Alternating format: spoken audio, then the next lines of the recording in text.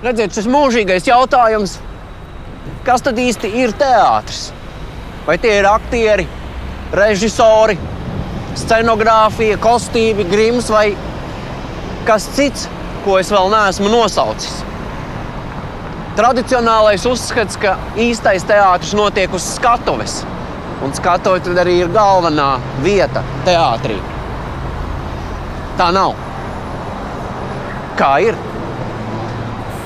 Redziet, pie izrādes tapšanas strādā diezgan daudz cilvēku, un pēc tam, kad tā izrāde jau ir tapusi, to noskatās vēl daudzāk cilvēku nekā cilvēki, kas pie viņas strādāja.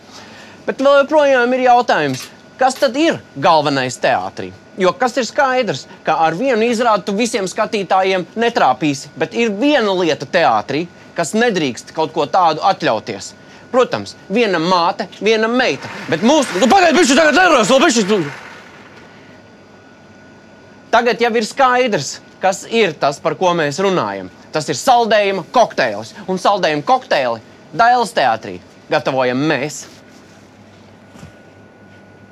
Un mums tas saldējuma kokteils ir jāpagatavo tā, lai tas garšo lieliski pats par sevi.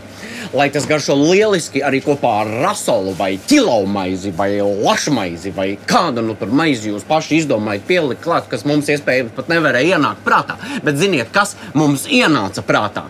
Jā, Un tad, kad saldējuma kokteils ir pagatavots, mums pašiem tas ir jānodrošina. Nu, lūdzu, beigsies tā koncentrēšana. Es nevaru. Tagad, kad mūsu darbs ir galā, ir pienācis laiks Dailas teātras saldējuma kokteļa somaļie iznācienam.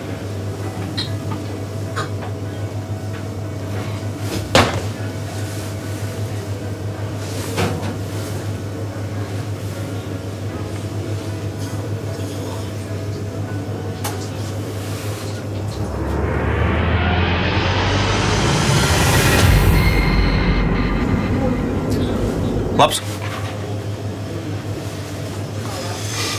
Panie, te serce.